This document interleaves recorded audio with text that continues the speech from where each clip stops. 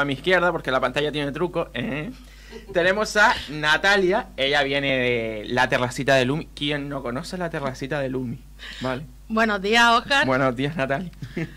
y ella nos viene un poco a contar, pues, lo que, lo que decía los oyentes, ¿no? Que nos viene un poco a contar, eh, pues que siempre son ustedes, el sector hostelero, el que está pagando los platos rotos de la pandemia, las situaciones en las que se están encontrando, las dificultades. Cuéntanos, Natalia. Pues sí, es cierto, es así. Nosotros somos el sector más perjudicado.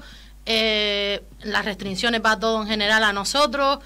Lo que no entendemos es que nosotros no podemos dar un servicio dentro de nuestros locales y un centro comercial eh, esté lleno.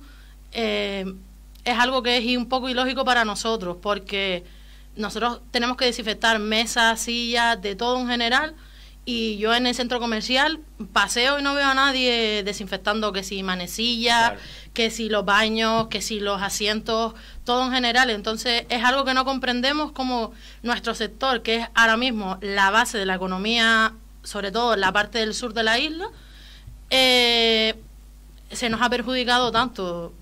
Claro, porque vamos a ver, un poco para situar a la gente, la pandemia, salta la pandemia, se empiezan a tomar las medidas, vale, siempre se acusa, o lo primero en cerrar, ¿no? Digamos, o lo primero en restringir es el sector hostelero, donde se supone, consideran que es donde, pues, más fuentes de contagio supuestamente hay. Pero bueno, también es cierto, bueno, esto es lo de siempre, está un poquito descompensado, primera pandemia y demás, pero partiendo de ahí, también es cierto que desde mayo hasta diciembre más o menos, no hubo un repunte considerable pese a que estaba abierto todo el sector hostelero sin ningún tipo de problema, es decir, terrazas e interiores. respetando las medidas. No, sí, sí, es lo que no entendemos. O sea, de mayo que se abrió, se fue prolongando poco a poco abriendo, eh, hasta diciembre, que es cuando llegó las fechas de Navidades, mm, veíamos los datos y, y vamos bastante bien que se equivocaron a la hora de no tomar un poquito más de restricciones en lo que es en las fechas de Navidad y todo eso, sí es cierto. Pero como siempre, lo pagamos nosotros, o sea, el tema de hostelería, los hoteles sobre todo. Eh, yo creo que, no, exacto, no entendemos el por qué, con que lo llevamos bastante bien, o sea, mientras tengas las medidas que tienes que tener y todo, yo creo que es entre sí es una equivocación lo que han hecho, pero claro, nosotros sí podemos hablar, podemos pedir que la gente nos, nos eche una mano, pero si el gobierno en sí ha decidido tomar estas medidas, no podemos hacer más nada. Porque claro, el hecho de que se tomen estas medidas, recordamos, eh, entrábamos en el nivel 3 y eso suponía el cierre de gimnasio, de salas de juego, de bingos, apuestas y demás, y la reducción. Pero de salas de juego no. Estuvieron una semana. Exacto, sí, ahí, vamos, un momentito. Exacto. Y la reducción de, del personal en cafetería y la suspensión de, de, atender dentro del local. Eso a ustedes, a un negocio que obviamente es un negocio pequeño, de, de tú a tú, de toda la vida, ¿qué les supone? ¿Qué, ¿Qué dificultades les supone? ¿Con, ¿Cuál es la mayor con la que se están...? Porque claro, estamos hablando de que cuántas mesas tienes tú en todo el local sin ningún tipo de restricción. Sin ningún tipo de restricciones. Dentro tenemos lo que son ocho y fuera deberíamos tener cuatro. Ahora mismo solo tenemos las de fuera. Es decir, 12 mesas en total. Sí. Que pasan a ser con las restricciones cuatro. Cierto. Mantener un negocio con cuatro mesas. Sí, y los gastos siguen siendo los mismos, el impuesto sigue siendo lo mismo, la cuota de autónomo sigue siendo la misma, la seguridad social sigue siendo la misma. es lo que tampoco se entiende, ¿no? Porque si no me deja trabajar el dinero como si no tengo ingreso, exacto, si no tengo ingreso, ¿cómo puedo pagarte, hacer frente a todos esos pagos? Ahora, eh, lo decía, una semana fue lo que duró cerrado las mm, salas de apuestas y todo esto. La verdad que yo no entiendo por qué, ¿vale? Pero lo cierto es que se le volvió a dar un cierto permiso para pero, Gabriel. Pero claro, pero ellos dan el servicio dentro de un local. Es lo que no nos cabe a nosotros dentro de la cabeza. Para que se guíen, ellos sí dan el servicio dentro del local, supuestamente no tiene ningún tipo de problema, pero la hostelería continúa con el 50% en terraza y solo en terraza. Solo en terraza, exacto. de verdad que... No, es algo que no entendemos nunca. No, y porque si vas a las casas de apuestas, casi todas las mayorías tienen lo que es el servicio de cervezas, agua, café. Entonces, en sí no entendemos, ¿sabes? No entendemos el, el por qué ellos sí y nosotros no. Eh, Me dicen por aquí que quieren intervenir. Y tú sabes que este es tu programa. Perdón. Buenos días. Faltaría menos y menos a ti. Estaba yo deseando tenerte en mi programa. Neri Pérez, dígame. Es que has tenido muy buenas entrevistas, ¿vale? O sea, no veas cómo me mordí la lengua con el, tanto con Elsa. Pues porque quisiste, porque podías haber entrado en cualquier pero momento. sabes que no, puedo resistirme. No puedo resistirme. También con, con, con el enfermero eh, fantástico el testimonio que, nos dejaba, ¿no? Pero ya es que no puedo más. ya no puedo más. Ya no puedo más. y, tengo, y tengo que preguntarle a Natalia, no me enfoques, compañero. Ya viene el técnico a decir, oye, ah, que tenemos a dos y tal, y entra Nero. No, no, no me enfoques. Eh, vamos a ver, que también sé que para el compañero cambiar todas las cámaras y demás es muy complicado. Y esto es el directo y porque no me resisto tengo que preguntarle a Natalia. Vamos a ver, la, terracita, la cafetería, eh, bar que, Lumi, que se encuentra en Bellavista concretamente. Eh, Natalia, eh, ¿cómo, eh, supongo que a, nivel impositivo, que es lo que tú hablabas, ¿no? A nivel fiscal, a ustedes no le han reducido absolutamente nada, ¿no? Nada, nada, nada, Y nada estoy hablando desde que empezamos la pandemia. Efectivamente, o sea, ya si es verdad que para que, vulgarmente lo voy a decir así, pero no para que no suene mal, eh, para callarnos la boca, es verdad que el primer mes que tuvimos de pandemia, supuestamente nos suspendieron el pago de autónomos, pero nada, es fue un aplazamiento. Sí, porque además con todo, cuando llegamos a la desescalada, ¿no? Fue poquito a poco abriendo todos esos negocios y demás, pero que nunca han llegado ustedes, por ejemplo, a lo que estaban facturando en el año 2019. No, no, no. En todo este año, para nada, ¿no? Ni en asombro. A ver, si es verdad que, y desde aquí doy las gracias a toda la gente que nos ha apoyado y que sigue día tras día ahí. Por supuesto. Y gracias a eso nos podemos mantener, pero sí es verdad que el tema de ingresos no tiene nada que ver con el año pasado. ¿Por qué? Porque nuestra gente sí o sí es de la que le gusta venir a sentarse, estarse tranquilito, ah, eh, sin prisa, exacto, para tomar su tiempo. Y ahora no se puede tomar ese tiempo. Claro, porque al, al, al, entrar en estas nuevas restricciones con cuatro personas en mesa, con cuatro mesas que dices que tienes exclusivamente, o sea, no puedes, no, no tienes ese espacio donde en un momento dado pudieras poner más mesas. Ahora mismo, gracias al Ayuntamiento de San Bartolomé de Tirajana, hemos podido conseguir coger suelo público hmm. y hemos tenido poder poner tres mesitas más. Entonces... Sí, pero bueno, siete mesas. Eh, si de media voy a tomarme un café eh, más el sándwich o el dulce o lo que ustedes sirvan en la que me puedo pegar media hora, tres cuartos sentado. Eh, Más o menos, porque tampoco le vas a decir al cliente, pues coma y váyase. Porque ese no es nuestro servicio. Claro. Y tampoco, perdona a ti, no tienen tiempo, ¿no? Es decir, porque hay mm, cafeterías por ahí que en la mesa ya te advierten de que por favor ocupen la mesa no más de media hora. No es el caso. Nosotros además no es el caso porque yo voy con nosotros, nosotros no tenemos eso. Es verdad que dificulta más todavía. Exacto, un poquito, pero nosotros poner lo que es el tiempo a la persona. Es que para nosotros es lo propio, es, que, en un negocio. es que yo pensando, imaginemos que es normal, porque al final uno también cuando se va a tomar un café o va a desayunar o va a almorzar, una merienda o lo que sea, pues oye, uno dice, quiero ir con mi tiempo, también es lógico por parte del consumidor. Pero saquemos el cálculo.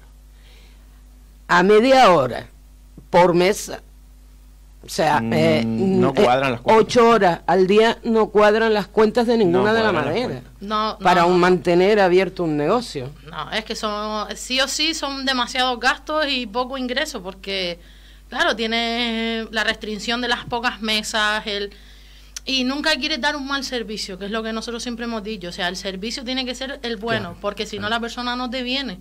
Entonces, yo no le puedo decir a alguien, no, caballero, tómese el café y el sándwich y váyase. Claro que no. Porque es que yo, yo me pongo en la piel del cliente y a mí me dices eso y no...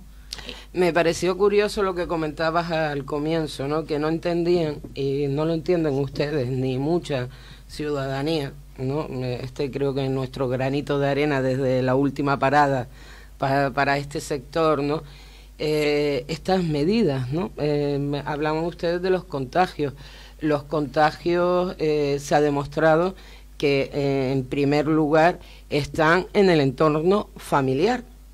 En el entorno familiar, en realidad el mundo de la restauración y hostelería queda como los últimos, o sea, en comparación a los contagios que hay en el entorno familiar, seguido de encuentros y aglomeraciones donde no deberían haber existido. Y ya les digo que el mundo de la hostelería y restauración queda en el último lugar. Eh, y son los primeros en pagar, que es, lo que estamos hablando. Que, no han dejado de pagar. Eh, que, eh, bueno, a la hora de trasladarle, ¿crees que han sido suficientes? Porque a mí me consta, porque a través de, nuestro programa pues hemos hablado con distintos eh, sectores, con la patronal, con asociaciones, etcétera. Pero ¿creen ustedes que están haciendo la suficiente fuerza? O sea, todo, todos estos sectores, tanto patronal como distintas asociaciones que se han unido para, para ir en nombre de ustedes del mundo de la restauración a exigir, ¿creen que, ha sido suficiente? Yo creo que no, porque, no, porque en sí eh, no nos unimos. No nos unimos, cada quien tiene su propio pensamiento y eso es lo que nos hace que nos separemos. Si todos tuviéramos el mismo pensamiento, yo te digo que el gobierno no nos manejaría como nos está manejando. Si todo lo que es la población en sí, o en este caso lo, el tema de hostelería, todos pensáramos en el bien común, eh, nos iría de otra manera. Pero claro, cada quien tira para su bolsillo. Claro, y en, cada uno va a su casa, ¿no? Hombre. y en tu zona, por ejemplo, no se ha propuesto, o mm, quizás, ¿no? Eh, la posibilidad de crear algún tipo de foro, de, asociación, un poco para hacer más presión entre todos ustedes, porque todos están sufriendo en esa avenida, porque es la avenida de Bellavista, todos están sufriendo el mismo problema. Hombre, o son muchos, supongo que será complicado. Son muchos, cada quien, como te acabo de decir, cada quien tiene su propio pensamiento, cada quien barre para su bolsillo, barre para su casa. Sí es verdad que ante algún problema que hemos tenido, lo que es a escala grande, como cuando nos cerraron el terreno que teníamos enfrente, sí, es verdad que nos unimos todos en general y se recogió firma, se fue a hablar con el dueño del terreno y eso. Pero de lo que es en general, cada quien, como siempre, barre para su casa. A mí me da mucha pena, ¿eh? porque vemos comercios pequeños, medianos empresarios que, como Natalia apuntaba, son precisamente el mayor tejido productivo eh, y que ofrece más trabajo a, la ciudadanía y ahora mismo el más castigado. Y que este tipo de normas y restricciones hayan cambiado, ustedes lo comentaban, ¿no? Y aparte también a nosotros en el programa nos sorprendía mucho que casas de apuestas o bingos estuvieran, es verdad que también tienen una serie de restricciones, pero eh, menos, menos restrictivas que se las ha puesto al mundo de, pues, de, la restauración. Pero para mí es que ese sistema, eh, o sea, mm, un bingo o una casa de apuestas para mí no es una primera necesidad. Opino yo. ¿Y qué mm. crees que han hecho el sector bingo, casa de apuestas, que no hayan hecho ustedes, que ellos sí han conseguido, por ejemplo, abrir y, y ustedes no? Sinceramente es algo que no... ¿Te lo digo yo? Eh, bueno, yo creo que un poco lo sabemos Te lo digo yo. No, simplemente el nivel impositivo. Pagan eh, aquí al final... el, dinero, el dinero y esta gente es mayor imposición fiscal la que tienen. Sí, claro, pero en sí en los impuestos y todo lo pagamos nosotros, o sea, es algo que no es... Y que también como decía la compañera Neri, es que es verdad, es que ustedes al final son los que están manteniendo el peso, porque sí, bueno, moverán cantidades indigentes las casas de apuesta, la, todo el sector, vale. Pero es que la hostelería en este país, vamos a ver que somos el país de Europa, si no me equivoco, no hemos cambiado, hasta hace poco era así, con más cafeterías por metro cuadrado. Hombre, estamos unas encima de otras. Entonces, entonces, yo creo que sería un poquito lógico y razonable también, eh, aparte de para no hundir la economía, porque, vamos a ver. Ustedes que, se les haya puesto precisamente eh, en, frente a, la pandemia, o sea, como un sector que en un momento dado puede haber contagios, etcétera. ustedes cumplen con todas las normas, ¿no? Pero con todas, con todas, o sea, él puede dar fe perfectamente que nosotras mismos es algo que lo llevamos a rajatabla, eh, nuestro hidrogel, nuestro desinfectante, cada persona que se levante. Si es verdad que ya la gente está pasando un poco de todo. Mm, la gente ve la mesa a lo mejor que todavía tiene losa y va y se sienta. La costumbre de siempre, digamos. Que sí, más o menos sí. Es verdad que tú intentas que la persona te diga, pero mira, es verdad que la gente ha pasado un poco, pero yo creo que a los datos me remito. Mm, hasta diciembre lo llevamos bastante bien. Mm, en noviembre, diciembre más o menos, lo llevamos bastante bien. Yo lo dejo en el aire, pero yo creo que nosotros no teníamos la culpa, pero... Te voy a poner ahí un, eh, eh, un, ejercicio ahí que me vas a decir, me cago en el, diablo, que me vas a poner el café bien amargo cuando vaya. no, mejor no. Lo dudo, porque si no es ella, está la, propietaria también, que es una fantástica. Espectacular. Ahora, hablaremos de, lo espectacular de la terracita de Lumio, porque oye, lo que tiene se le da, ¿vale? Eh, si tú pudieras ahora mismo, ¿vale? Eh, tener delante enfrente, digamos, a, pues, no sé, al presidente del gobierno, ya sea de España o el Cabildo de Gran Canaria, el presidente de Canarias. ya se está hasta caldeando, ya, ya se está hasta colocando ya. ¿Qué le dirías, no? Pero desde el punto de vista empresaria, hostelera, a la hora de, eh, mira, parte del pagado aquí. Hombre, que creo que deberíamos haber pagado justos por pecadores eh, si a mí hay unas restricciones, yo creo que las grandes empresas y los centros comerciales también tendrían que tenerlas igual que yo. Es verdad que las cafeterías y eso de los centros comerciales están todas cerradas, pero claro, una tienda, una tienda, una tienda no, por mucho aforo que te digan que tienen, mm, me remito a que yo fui después de la campaña navideña y no cabía un alma en una tienda. Claro, es que eso es lo, contradictorio, ¿no? Porque es verdad, los, centros comerciales siguen abiertos, las tiendas siguen abiertas, la gente también es verdad que se está relajando, no todo el que entra a lo mejor a una tienda de ropa, muy mal hecho, por favor, mm, lo hablábamos antes, esto no, ¿eh? No siempre eh, se echa el gel a la hora de acceder a la tienda, o no siempre se entrega la ropa a la dependiente para que vuelva a ser desinfectada, en fin, que en proporción es que cae por su propio peso. Sí, mm, mm, claro, pero para eso tienes que tener... Exacto, ustedes sí cumplen al rajatabla. A rajatabla, o sea... El mm, aforo y todo, pero entonces es que de verdad, ¿qué más pruebas necesitan no los políticos para que vean que no son ustedes el problema? Eso es lo que vamos, será que el centro comercial moverá más dinero que nosotros en general, pero claro, realmente nosotros, los pequeños comercios, somos los que levantamos el país. Es eso, eh. así es que si al final, si es por cuestión de economía, que lo es, lo sabemos todos, pero es que al final, eh, en proporción, son ustedes los que están levantando el país. Y el que está dejando el dinero aquí, el que le está dando empleo a los locales, el que le está pues apaciguando la mañanita a, todos los que están levantando el país dentro de su rama. Al final todos van a morir a las cafeterías. En fin, que dinero se mueve. Sí, a ver, pero claro, las cantidades que tenemos en un centro comercial dirán, pues un pequeño comercio no me mueve ni la mitad de lo que me mueve en un día un centro comercial. Y así va España. pero unas declaraciones bastante fuertes es ponerte al fin y al cabo todos generamos economía, más o menos todos generamos ah, economía y se trata de ir sumando. No se puede dividir ni, ni, ni tampoco castigar ni fiscalizar a un solo sector de la economía.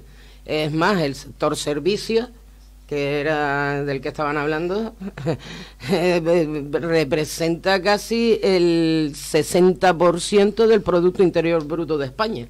O sea que, mm, ojo, ojo, y lo que estamos viendo a lo largo de toda esta pandemia, que hay muchos sectores que se ha hecho la vista más gorda, y hay que decirlo así, así a la hora de las restricciones, que en comparación con otros sectores que pueden seguir ofreciendo un, un servicio fantástico con un entorno seguro, seguro porque los primeros interesados ustedes. No, sí, sí, claro. Nosotros, nosotros, aparte de todo lo que hacemos, lo que es a día, eh, día, a día, hora a hora, eh, nosotros por la noche tenemos un aparato que suelta ozono, limpia todo, desinfecta todo, se deja y supongo que todo eso también se han ido poniendo al día ustedes, o sea, son inversiones que han tenido que hacer para poder seguir manteniendo abierto el local. ¿no? sí, claro, porque si no, no, no se puede mantener abierto. Sin esas medidas no se puede mantener abierto y todo eso sale de las arcas de la empresa, no sale de porque el ayuntamiento o el, o el gobierno te dan ayuda.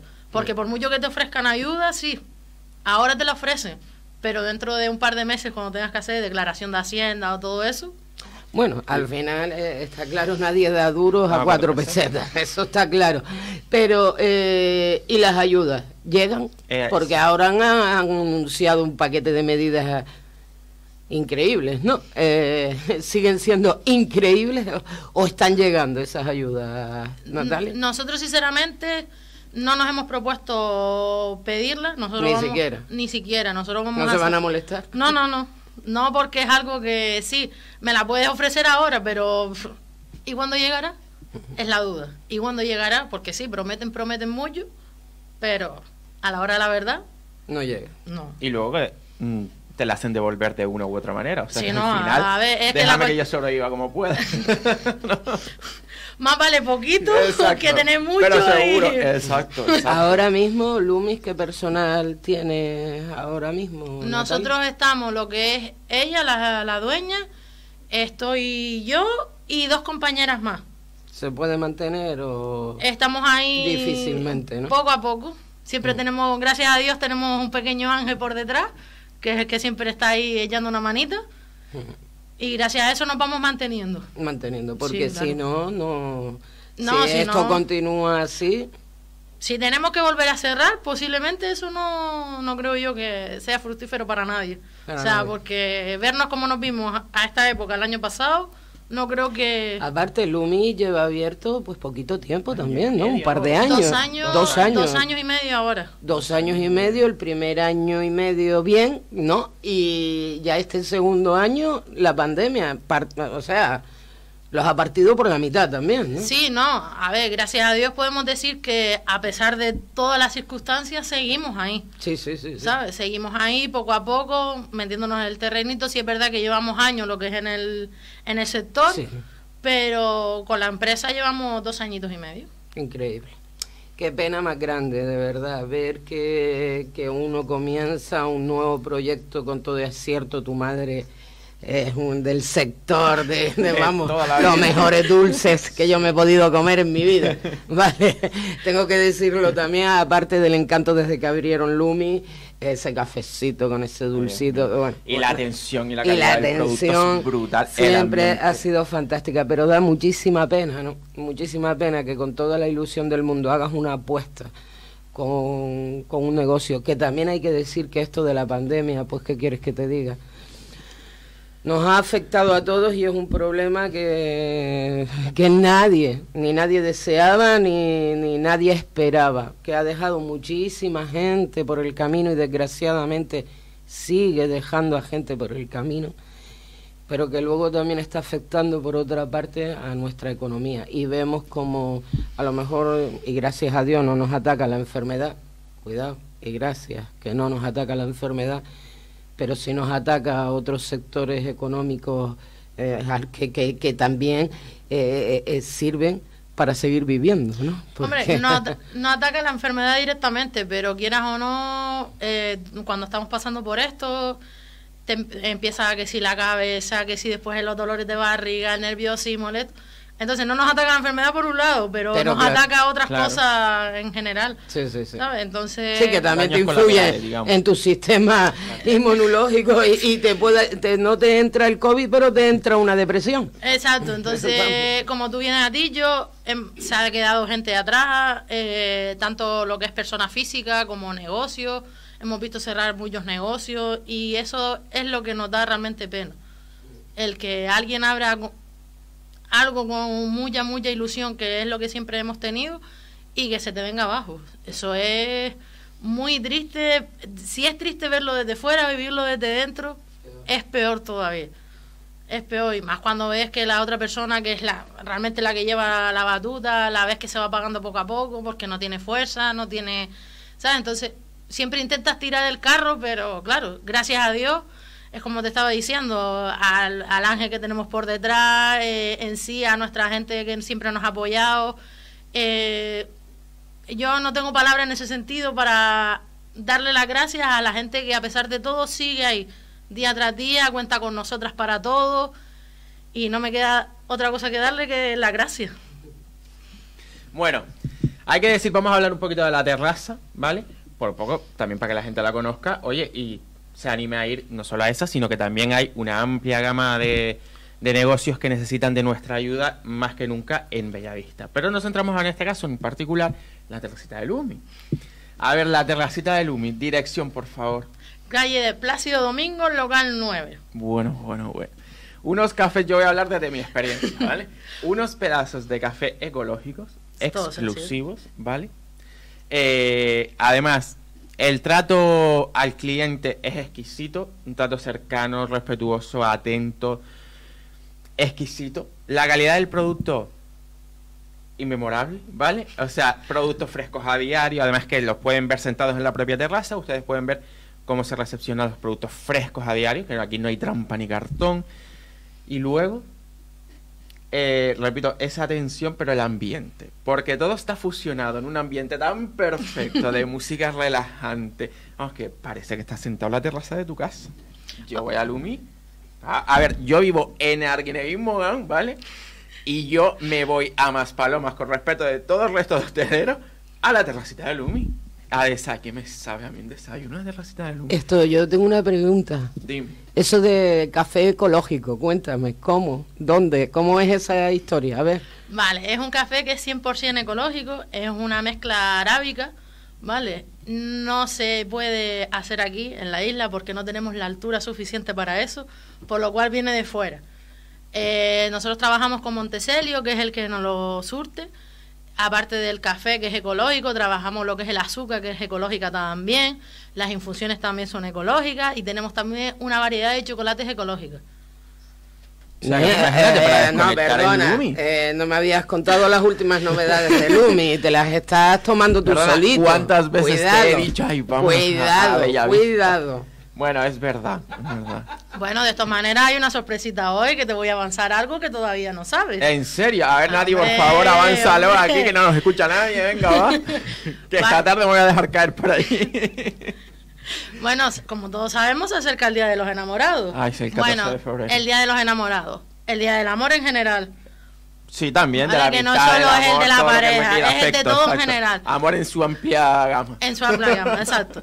Pues la terracita de Lumi para que disfruten mejor ese día y no se vuelvan locos, hemos preparado unas cajitas con desayuno. Ay, Dios mío. Un desayuno para dos, hay varias variaciones, todo depende del cliente. El cliente pide y nosotras preparamos. O sea, desayunos personalizados para el día de San Valentín. Vale, o sea, para ir a mandar. Bueno, yo en este caso mando a mi parejita y le digo, eh, yo quiero desayunar en la cama, ¿no? Exacto, lo manda dos o tres días antes, él me dice qué es lo que quiere yo se lo dejo organizado para el domingo y el domingo solo tiene que venir a recogerlo. Que por cierto, ahora por eso, el servicio a, bueno, a domicilio no, pero se está demandando más en la cafetería también, ustedes lo trabajan, el servicio de, llevada, ¿no? De sí, pedir y llevar. Sí, gracias a Dios. Ya exacto. ¿no? Sí, sí, sí. O me llaman por teléfono o por allí y nosotros enseguida preparamos y se puede. Estamos intentando el servicio a domicilio pero con estas restricciones y todo esto, pues es un poquito más complicado porque nosotras somos poquitas y siempre... Y que generan un más gastos también. Claro, porque siempre cojeamos, y se va una, pues se queda una sola, entonces... Pero en principio estamos ahí barajeando... Para conocer la terracita de Lumi, así entrar a, pie de boca, redes sociales, Nati. Natalia, perdón. No, Nati, si quieres, no hay problema. Venga, redes sociales aquí para que ya aprovechen. Vale, tenemos Instagram y Facebook, nos pueden buscar por la terracita de Lumi y por ahí estamos, ahí están todas las novedades. Pues yo, quiero desayunar el día de los enamorados en la cama. Perdona, ¿en la cama? Con un desayuno de Lumi. Claro, eh, eso es lo que me refiero. a que, me lo una directa, pero directa no, a yo lo lanzo, limpio. Yo lo lanzo a todos los oyentes. yo lo lanzo a toda esa gente que nos están viendo. Oye, que ese buen desayuno de Lumi te lo traigan a la camita y todo, mono. y seguro. otro. ¿Eh? Ah, ah, ¿ves? ¿Ves? Uh, qué rico, qué rico, qué rico. Fantástico. Un desayuno, pero yo creo que voy a ir para allá. Ah, a mí que me sabe la cafetería, una cafetería. bueno, pues Nati, si quieres decir algo más así que quieras destacar o pedir o alguna petición, aparte de eso sí, mm, yo creo que también vamos a recordarlo, a los usuarios, ya sea de Lumi o de todas las cafeterías en general, ¿vale? Por cierto, por supuesto, les invito yo personalmente, aquí aparte ahora lo hará Nati, pero yo, aquí, aquí en Petit Comité, vayan, porque no se van a arrepentir, ya lo digo yo, ¿quién va a repetir? Bueno, pero aparte de eso, eh, aprovechar para hacer el llamamiento, ¿no? Ya que el sector solo puede trabajar en terrazas, pues en la medida de lo posible hacer buen uso de las mesas y no intentar venirnos muy arriba. ¿Vale? Para que siga habiendo rotación. Que Exacto. Somos muchos para el mismo café. Exacto, como Oscar bien ha dicho, eh, el llamamiento de aquí es que sigan ahí, que nos sigan apoyando, que el pequeño comercio hoy más que nunca necesita de todo el apoyo de todo el apoyo de toda la gente. Eh, como él decía, eh, la agilidad a la hora de ocupación de mesa no es que se les esté echando, es verdad que no se les está echando, más que a mí no le gusta a nadie tener a gente allí, ver cómo la gente disfruta de, la cafetería y eso, pero es verdad que estamos con, con limitaciones y nos gustaría atender a todo el mundo, nos gustaría atender a todo el mundo como es debido.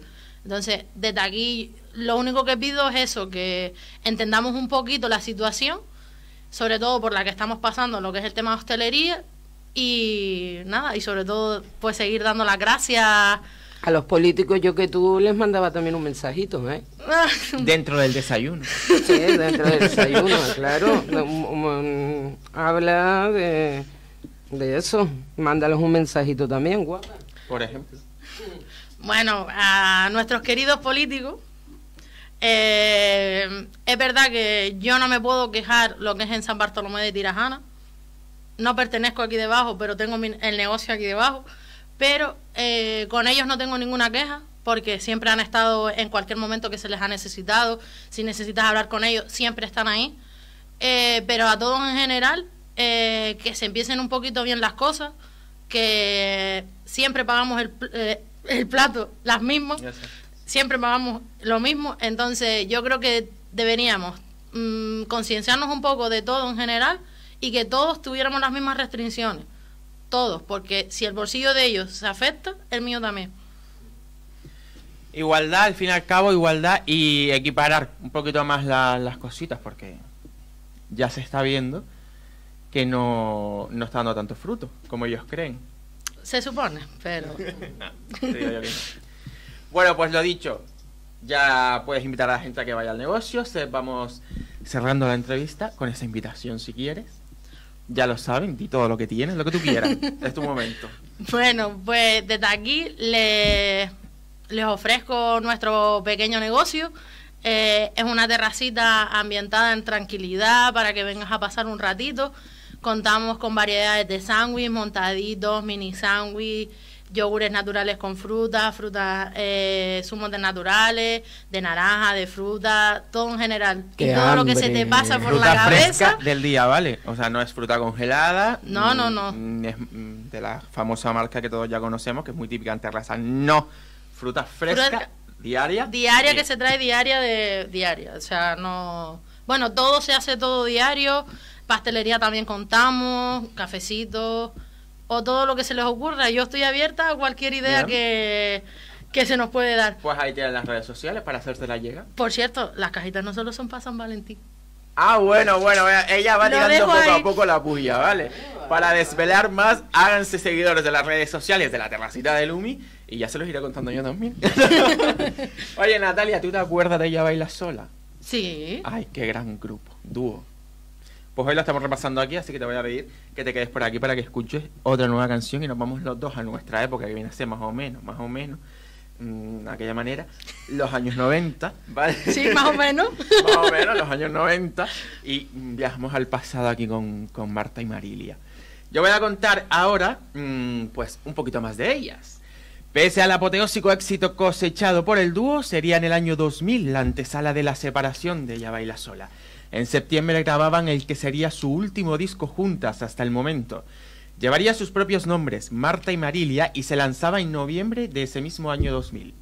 ¿Cómo repartimos los amigos? Fue su single de lanzamiento y no solo entró directo al número uno de los 40 de entonces, sino que consiguieron una nominación a los Grammys Latinos 2001 con este álbum. Hoy vamos a recordarlas con